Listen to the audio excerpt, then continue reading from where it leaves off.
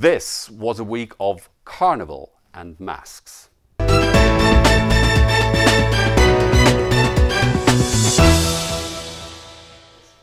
Coronavirus is coming to Europe.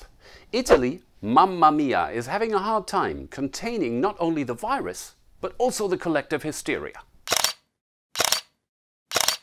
Yes, Carnival had to be cancelled in Venice.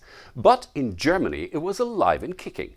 Not only in the streets of Cologne, but also in that former fortress of political stability, the CDU.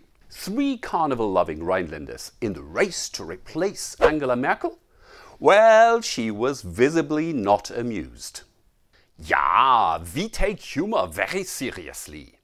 Finally, if you're already bored and stuck at home in quarantine, Bollywood put together a carnival show of its own this week.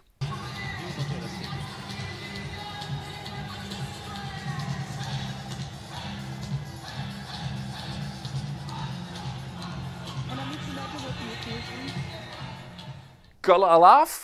Nah, rather attenzione.